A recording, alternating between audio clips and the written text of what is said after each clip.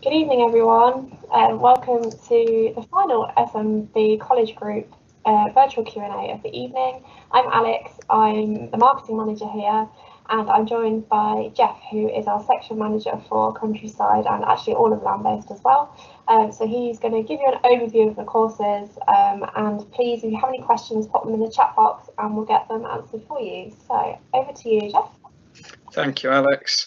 Um, so as Alex said, I'm the section manager for the land-based industries. Um, and for the next few minutes, we'll be focusing on the countryside management courses. Um, so we we run a level two and a level three course in countryside management, um, and also some uh, allied uh, work-based learning sort of apprenticeship routes um, with specialisms in forestry and arboriculture.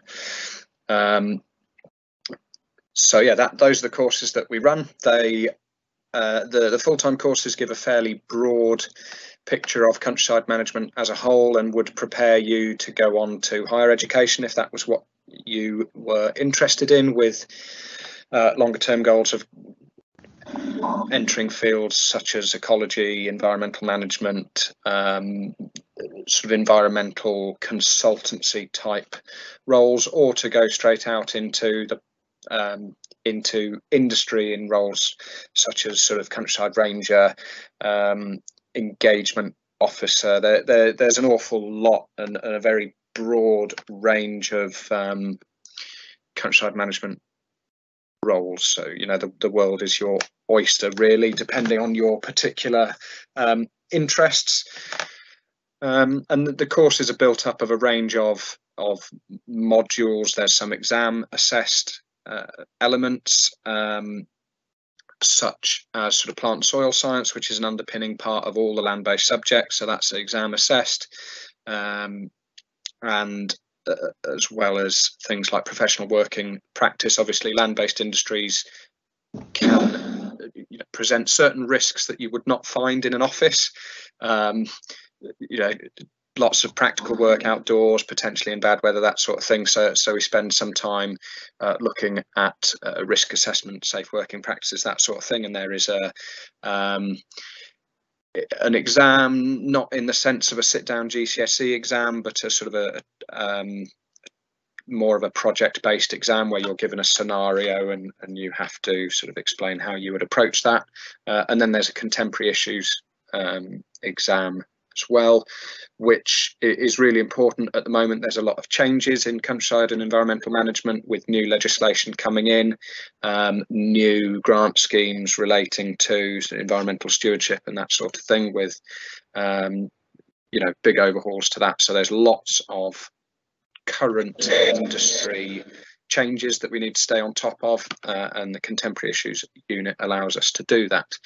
Um, but then aside from those three sort of exam units there's lots of other specialist units dealing with particular types of habitat looking at farm habitat management looking at wetlands looking at woodlands um, you know the whole whole range of um, sort of countryside and environmental skills that you would need. Um, practical estate management skills uh, and the, the sort of surveying and practical side of conservation and environmental management as well. Um, on the apprenticeship side, that's we're looking at sort of forestry and arboriculture particularly there. Um, so we've got the forest operative apprenticeship with pathways in harvesting all establishment of woodlands, and then the arboriculture, which is the sort of tree surgery route, um, and those those courses that you know the, most of the work there would be done with an employer, um, but through the college you'd also get lots of additional qualifications that are needed to enter that industry. Um, so yeah, that's that's where we're at with the courses. Really, that's that's the overview. Um, in terms of equipment to support all of those, um, you know, we we would expect students to have you know their own um, you know decent outdoor clothes so that they can be warm and comfortable working outdoors and their own steel toe cap boots um, and, and things like that. When it comes to specialist ppe such as chainsaw trousers helmets that sort of thing we can provide that. Um, if you if you're on one of the apprenticeships, you will need your own because you'll need those on a day-to-day basis. But likelihood is your your employer will probably help provide those. If you know you're going into that field, it might be worth in uh, as a full-time student, it might be worth investing in your own PPE. But like I said, we have we have everything that is required to equip you with the very specialist kit that you need: chainsaws, chainsaw protective equipment, tractor, you know, or, or tractors the big tools that you need. We don't expect you to provide that. Obviously, we do, and we have a, have a, a nice shiny new fleet of um, of John Deere equipment for the the machinery side of the the countryside courses, um, and you know the yeah whole nine yards when it comes to kit and equipment. You'll just need to make sure you've got waterproofs and boots, really. Brilliant. We've had a questions. Um, Billy has asked, um, we talk about chainsaws quite a lot, and Billy has asked yep. will we be using chainsaws in countryside management and what level would that be at? Uh, so the the um, the apprenticeships which involve a lot of um, chainsaw use are they're both level two apprenticeships, uh, but then on the level two and three courses there is access to chainsaws more so on the level three um, where you will need them to do some of the woodland management elements, uh, practical elements. Um, so yeah, certainly access to chainsaws, training provided through the course. If you're if you want one of the chainsaw qualifications, there is a um, it, it, comes as part of the apprenticeship, but for a full-time student on a level two or level three diploma or extended diploma, if you wanted to get the, that additional qualification, you would have to pay for it. But we do offer preferential rates to students, so you could do it through the college cheaper than you might somewhere else. So you, know you have access to the training that would prepare you for it, and if you wanted to go on and get the certificate, there's there's that possibility as well. Um, can you tell us the difference between the level one and the level two? Somebody's asked. Uh, difference between the level one and the level two. So the, yeah. the, we do have a level two that is a specific countryside management level two. Um, the level one is a general land-based level one, which will include a little bit of agriculture, a little bit of countryside, a little bit of horticulture, um, and equip you then to specialise post level one if that's what you want to do into one of the various land-based streams. But but the level one itself is a combination of all the different subjects. So you don't need to do the level one before you do the level two, do you? It's it's more of an option if you don't get the grades that you need to do the level two or three, um, or perhaps if you if you're feeling a bit nervous about coming back into college and you want to have a really good overview of the courses to, to help you decide. Exactly right. Yeah. Yeah. yeah. If you want to go into countryside or ag or hort um, later on as well. Lovely. Um, can girls do this course? Absolutely. Um, we've had lots of girls do the course before, um, and uh, yeah, please, yeah, it's absolutely for anybody who wants to do it. Our land-based courses are pretty evenly split, aren't they? Actually, between um, male and female, so definitely don't let that um, put you off if you're a bit nervous about being the only girl. It certainly won't be the case. Jack has asked how much of the course is inside and how much is outside. Um, it's difficult to put a hard number on it. There will be times of year when you spend a lot of time indoors because you might be coming up to preparing for an exam, um, or it might just be that during that season there is less outdoor work to do. That is the nature of the land based industry. We are tied to the seasons, uh, and sometimes normally in the winter, you find that there's an awful lot of outdoor work to do because that's when we plant trees, that's when we coppice, that's when we uh, we do a lot of the woodland management work. It the season dictates that we do that in the winter. Um, so there will be times of year when when you do more practical and times that you do less. But if you, if you were to average it out for the whole course, you're probably looking at about about a 60-40 split theory to practical that's probably not precise, but it, it's about that. Right. Um, do you need to do work experience during the course?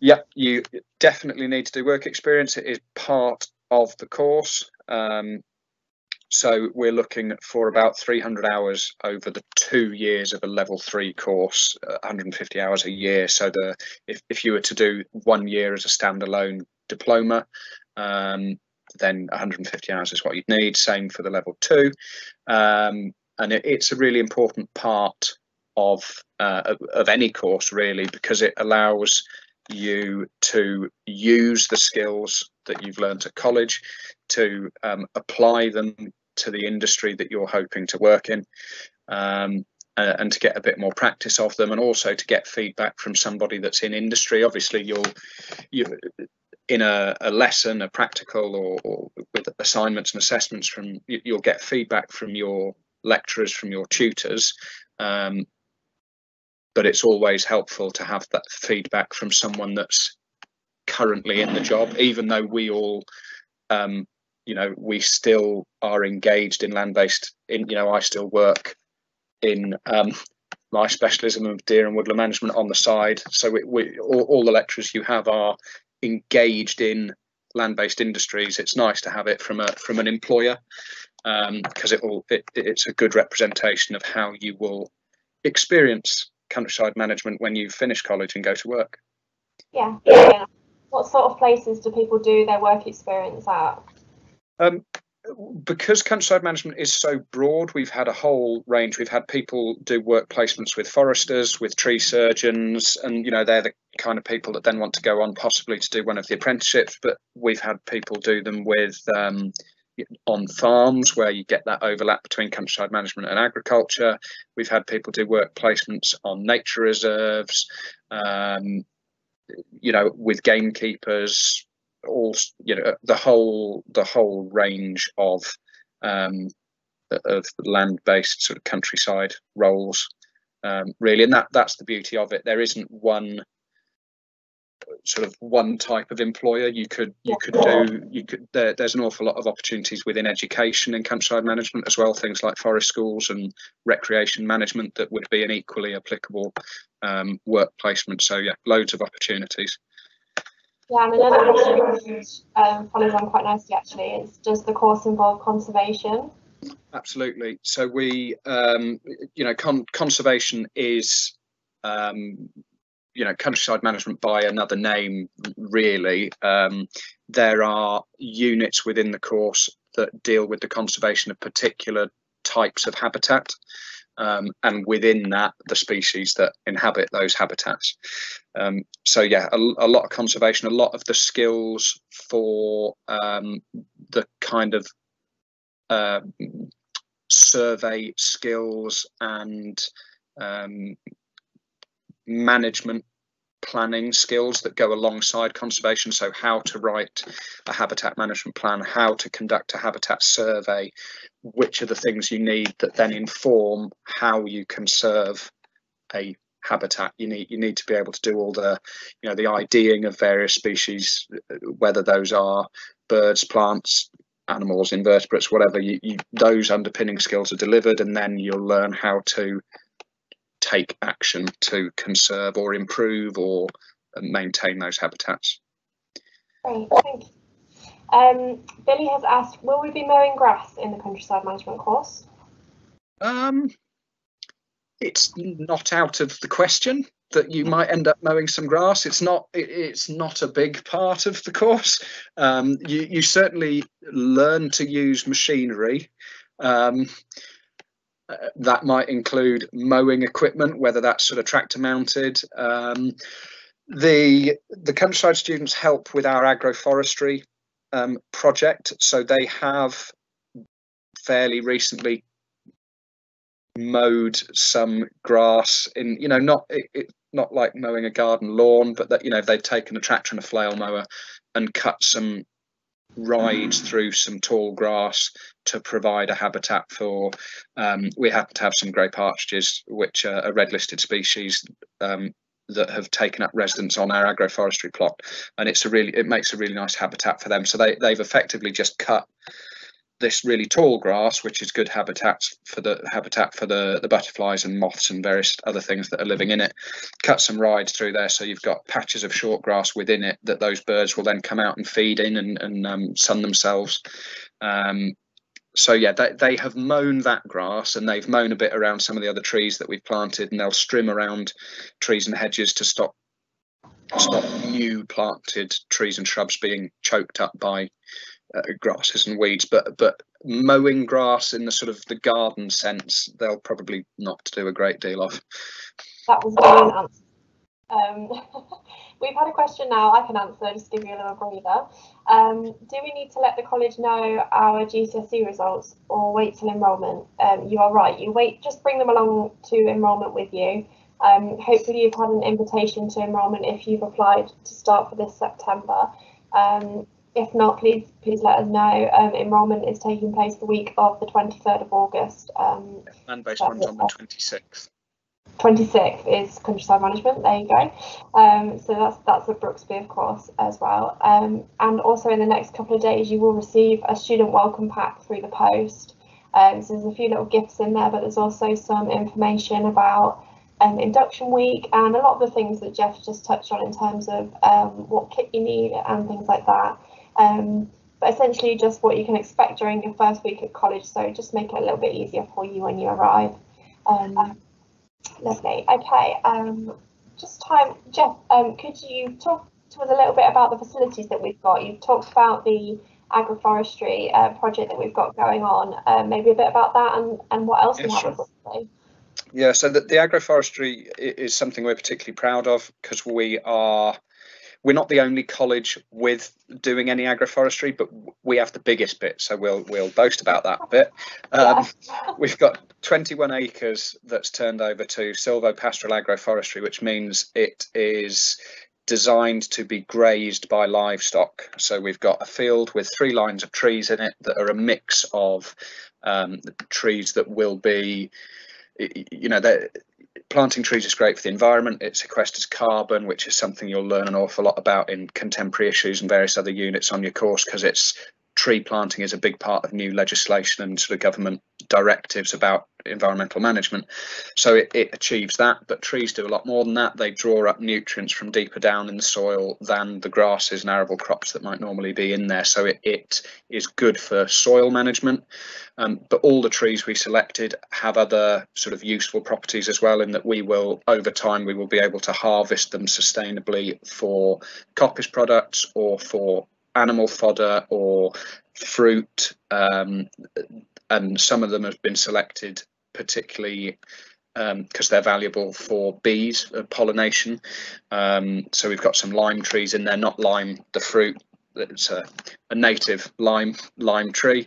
Um, you'll see a lot of them on the Brooksby campus. Actually, we've got some really big mature ones on the grounds as well as new ones that we've planted. So it uh, the trees themselves serve, yeah, a lot of different purposes within agroforestry. They'll provide shade for livestock as well as all those other things I've mentioned. And then in a rotation, livestock can be grazed on the uh, the herbal ley. So it's not just grass in between the trees. It's got species like clovers. Um, and lucerne and all sorts of other things in there. So it's really high quality grazing for livestock. Um, and I mean, obviously, there's overlaps here with the agriculture courses. You can probably tell, um, but countryside management and, and agriculture do go hand in hand. Um, so that that's a great resource across our land-based courses and something you'd be involved with as a countryside management student. Um, we also, as part of the sort of the agroforestry um, enterprise, we we've planted over a hundred willow trees that will,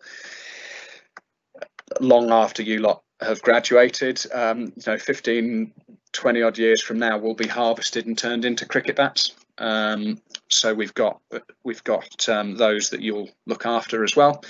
Um, but as well as the agroforestry, we've got we've got the college farm um, and grazing within it it is quite an important thing within conservation as well to to maintain um, certain habitats. So you'll you'll have access to the farm to learn a bit about handling livestock that might be used for conservation grazing. Um, you'll have access to our tractors and uh, practical tools, like I mentioned earlier, chainsaws, um, all that sort of thing. Um, so there, yeah, there, there's an awful lot of you know, practical facilities that you'll have access to. The fact that Brooksby has the you know grounds as well um, that are comparable to sort of national trust estates, the kind of places that you might end up working as countryside managers, means that you get to work within those um, and learn how to, you know, work on the trees and the the, the habitats. We've got a lot of ponds and um, riverside access as well. So we our college farm borders the River Wreake, um, so you'll be involved in a bit of bankside management there. Um, we've got a network of ponds and pools and lakes as well that you'll work on, um, as well as hedgerows and various other habitats on the college estate. And then we we step off the college estate as well and go on visits to other places um, to broaden your horizons a bit and look at um, look at conservation and wildlife management, countryside management elsewhere too. Great, thank you. Um, Jack has asked how many days a week is the course? It will be four days a week. So it's technically full time, um, but that sort of extra day gives you the opportunity to do your, your studies outside of, of the classroom as well, doesn't it? Yeah. Yes, absolutely. Yeah, yeah. To to go and do a work placement or yeah, get your assignments done. Great.